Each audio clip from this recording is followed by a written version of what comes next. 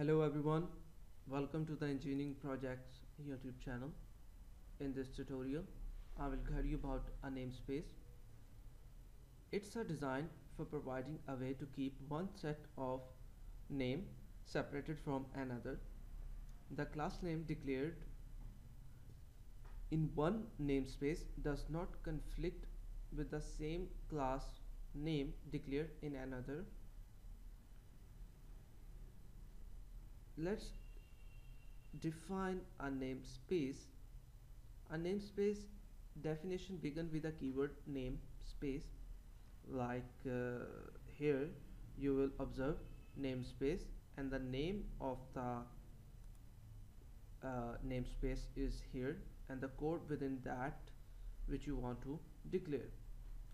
To call the namespace enable version for either function or variable uh, prepend the namespace name as namespace dot as you can say using namespace dot and the name which you want to use like uh, for example you will say that tutorial this using an other namespace dot then the item of that namespace. Uh, in this program we have only one namespace so that we can't able to import any other namespace. Let's demonstrate uh, namespace here. For example this is our first namespace. I will go here and say namespace and demo. So this is my demo namespace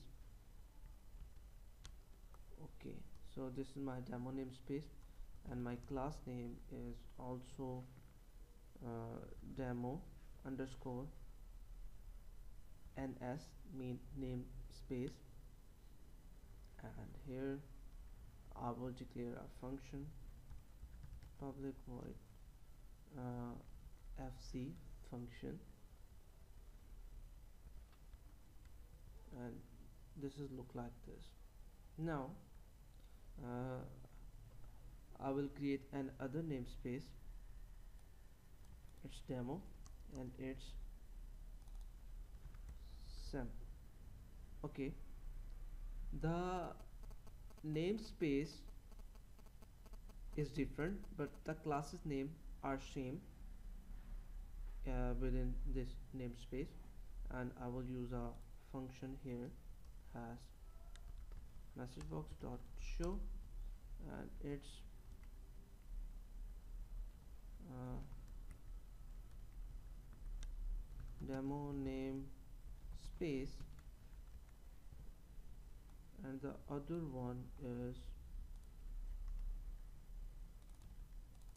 sample namespace now uh, this is my class where I am want to use these namespaces what I will do I will say that uh, the name of first namespace which is demo I will say here.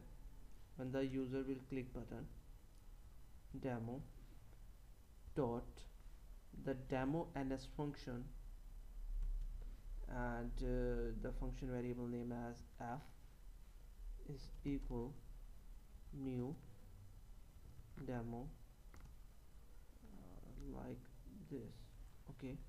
So what it will do it will uh, pass the value of whole namespace to f and again I will do the same but change the sample f to uh, f for example f to i. So this is uh, I will say this is D and this is S okay? Demo and sample namespaces and I will say that uh, D dot the function call and S dot function call. Now it will show a messages from different namespaces. I will execute this and click the button. It will say demo namespace. Okay. And then sample namespace. So by this we can get uh, different part of code from different namespaces from underline uh, like uh, different namespaces and the same classes names and same function names get within a one main program without any uh, error which will make it more efficient and productive. I hope this video tutorial is informative for you. If you still have any kind of question you can ask us. And don't forget to subscribe our youtube channel.